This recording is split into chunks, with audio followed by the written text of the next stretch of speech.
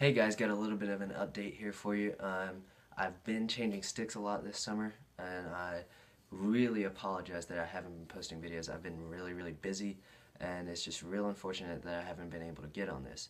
Um, but, you know, I'm back, and hopefully I can get a lot more videos out. And the first one that I'm starting off with is actually an update on my weapon of choice. So, the head I'm running with right now, I've been into a ton of Maverick stuff ever since I got a pair of Maverick Roams. And so, decided I'd try out the heads. I started with a Spider, and I actually still have it. Um, and I believe that video is still on my channel. I'll put the link in the description. But here is the brand new Maverick Metrik. This is the universal spec. And I don't think a lot of people know that there's actually a universal spec. And I actually had to look it up. But I really, really wanted a universal spec just so it, I'd be a little bit more prepared for the college rules.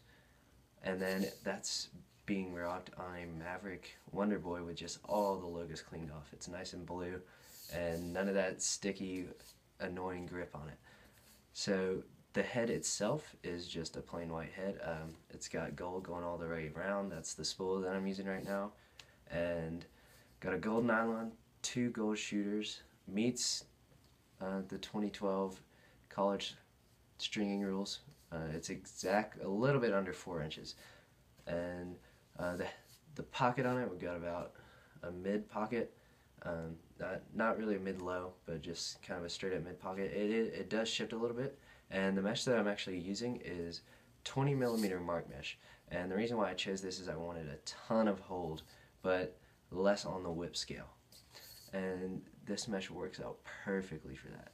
Uh, I love this mesh. Uh, I love it to death. It just holds the ball so well. And so about my shaft, um, like I said, it's just really, really plain. Um, the way that I tape, I got a warrior butt on, on it. I got it from Play It Again, so that's what came on it. But then I tape about um, kind of a, maybe like a, not even a fourth of the shaft. And